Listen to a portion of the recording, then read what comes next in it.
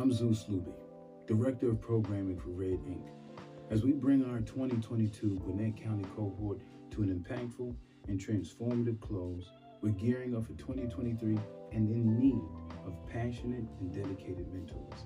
This group will usher in our eighth year of serving the community, our eighth year of preventing justice impacted youth from falling deeper into the criminal justice system, our eighth year of preventing countless families from mourning the living loss of a loved one to incarceration. Join us on our mission to continue affecting meaningful change through restorative justice. Go to stoprecidivism.org for more information.